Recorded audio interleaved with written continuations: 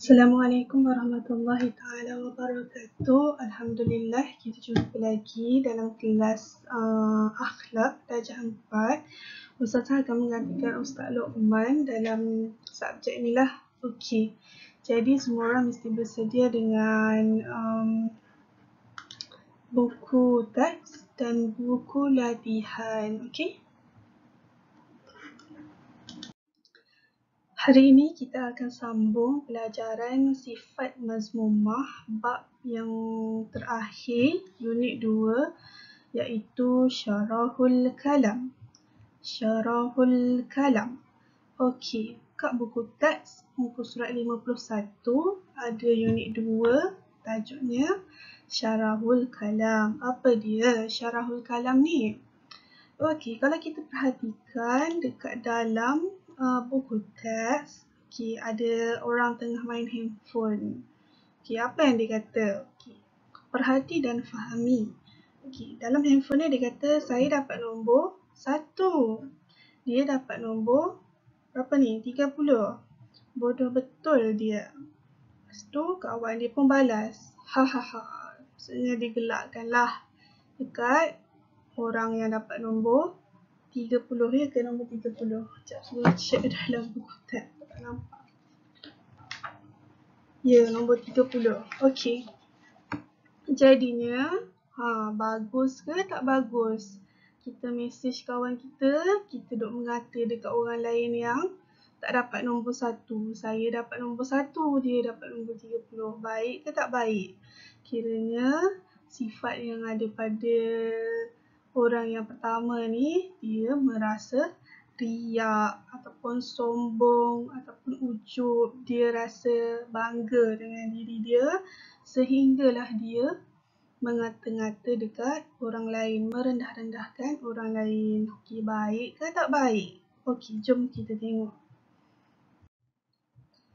Okey pengertian syarahul kalam. Dalam muka surat 52 okey ada dekat atas tu Okay, apa dia syarahul kalam ni? Syarahul kalam ialah suka bercakap banyak pada perkara yang tidak berfaedah. Macam tadi, berfaedah ke kita duk mengata orang? Kita merendah-rendahkan orang yang tidak hmm, kurang bernasib baik. Ha, jadi itu adalah perkara yang tidak berfaedah. Itulah dia syarahul kalam. Suka sangat bercakap benda yang tidak berfaedah faedah baik ke tak baik. Okay, jom kita tengok ciri-ciri dalil tentang uh, syarahul kalam ni. Okay, dalam muka surat yang sama, muka surat 52 ada dalil syarahul kalam. Okey, dalil syarahul kalam. Baca dan hafaz. Okey, firman Allah Subhanahu Wa Taala dalam surah An-Nisa ayat 114. Okey mafhumnya maksudnya tiada kebaikan pada kebanyakan bisik-bisikan mereka kecuali bisik-bisikan dari orang yang menyuruh bersedekah atau berbuat baik atau mengadakan perdamaian di antara manusia dan sesiapa berbuat demikian kerana mencari keridhaan Allah maka akan kami berikan pahala yang besar. Okey dalam um, ayat ni Allah kata tak ada kebaikan bisik-bisik bisik-bisikan. Maksudnya dekat sini tak ada kebaikan lah. Maksudnya tidak mendatangkan pahala, tidak mendatangkan manfaat pada orang-orang yang suka berbisik-bisik. Itu bercakap perkara yang sia-sia, tak ada faedah, tak ada makna. Kita bercakap tentang uh, orang lain, kita mengata orang tu, kita bercakap kasar. Okey, tapi Allah kata kecuali bisik-bisikan dari orang yang menyuruh bersedekah. Kecuali orang tu dia bercakap tentang uh, bukan bercakap tentang sedekah dia menyuruh orang bersedekah okey maksudnya bersedekah ini amalan yang sangat baik dia punya ganjaran dia tak tahu nak kata banyak ni bersedekah ni ada kisah tentang bersedekah ni tapi lain masa nanti kalau ada masa cerita bersedekah ni ganjarannya sangat besar. Okay. Sehingga kan ada seorang sahabat, hmm, ceritalah ada seorang sahabat masa dia nak meninggal, dia menyesal sebab dia tak bersedekah uh, seluruh harta yang dia ada masa dia hidup. Okay atau berbuat baik atau mengadakan perdamaian. Maksudnya berbuat baik. Bolehlah kita buat baik, tolong ustazah, tolong mak ayah, tolong kawan, tanya khabar. Okay. Atau mengadakan perdamaian. Okay. Mengadakan perdamaian di antara manusia. Maksudnya kita nak um, berbuat baik lah. Contoh kalau ada orang bergaduh, kita nak berbuat baik. Ada orang nak hmm, rasa tak adil kan ada, uh, dapat hadiah tapi orang tu dapat besar dapat kecil kita nak damaikan boleh kita ada masalah dan sesiapa yang buat demikian kerana mencari keredaan Allah so orang-orang yang berbuat baik bersedekah buat baik mengadakan perdamaian seorang ini sebenarnya akan mendapat keredaan Allah dan akan mendapat pahala yang besar. Okey, itulah dia. So, kesimpulan daripada ayat ini, sekiranya kita buat baik, Allah akan redha kat kita dan kita akan dapat pahala yang besar. Tapi sekiranya kita bercakap perkara yang sia-sia dan kita tidak berbuat baik sesama manusia, maka itu adalah perkara yang sia-sia.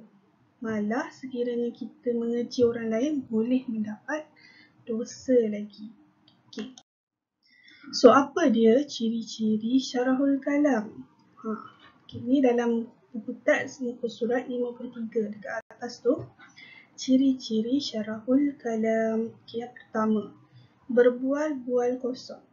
Berbual kosong, contohnya cikgu selalu lambat masuk kelas ke ataupun pagi-pagi kan datang sebelum nak start kelas mengaji tu tak ada nak buat apa kan so awak pun berbual-bual kosong buat benda yang tak faedah contohnya tak kisahlah apa-apa yang tidak mendatangkan manfaat okay. Contoh yang kedua, menggunakan perkataan keji. Contohnya, mengatur orang lah. Ha. Awak panggil kawan awak, eh gemuk. Tak pun awak panggil eh awak ni tak cantik lah. Ha, macam tu. So menggunakan perkataan yang keji lah. Kita dah lah uh, menggunakan perkataan yang tak baik. Panggil orang tu dengan panggilan tak baik. Tu contoh ciri-cirinya. Bercakap perkara yang tidak berfaedah. Itu sama jugalah. Kita selalu duk mengata, eh hari ni Ustazah pakai baju warna biru lah. Eh kenapa baju Ustazah macam tu? Kenapa? Kenapa duk mengata tentang orang lain? Ha, itu benda-benda yang tidak berfaedah faedah. Okey, seterusnya menggunakan bahasa kasar dan tidak sopan. Bahasa kasar dan tidak sopan ni Oh, ni so tertinggal huruf. Menggunakan bahasa bahasa kasar dan tidak sopan. Okey, menggunakan bahasa kasar ni contohnya kita mencarut lah. Ha, awak sendiri tahu kan apa perkataan yang tak baik. Yang start dengan huruf B apa semua tu. Ha, itulah perkataan-perkataan kasar dan tidak sopan. So, orang-orang yang suka sangat mencarut ataupun mengaji orang lain sama ada mengaji fizikal dia, mengaji um, perlakuan dia, contoh dia tak pandai ataupun dia tertumpahkan air ataupun dia tak sengaja buat sesuatu yang uh, tak sengaja kan. So awak pun duk mengata-ngata dia, marah-marah dia, keji-keji dia. Itu adalah ciri-ciri syarahul kalam. So baik ke tak baik? Istilah tak baik. Okey. Jadi pengajarannya janganlah kita bersifat seperti orang yang ada syarahul kalam sebab ini adalah sia-sia. Allah tak redha pada kita. Okey. Kerja rumah. Kerja rumah buat latihan muka surat 38 dalam buku ni So senang je dekat ni dia suruh nyatakan pengertian syarahul kalam. Yang ni dia suruh tuliskan ciri-ciri syarahul kalam. So dua-dua ni ada dalam buku teks macam yang kita bincang tadi. Uh, buka buku teks buku surat 51 sampai 53 ada jawapannya. Okay, nanti dah siap boleh snap gambar dan hantar dekat ustazah. Boleh? Okey, insyaAllah itu saja. Kita jumpa lagi akan datang. Assalamualaikum warahmatullahi taala wabarakatuh.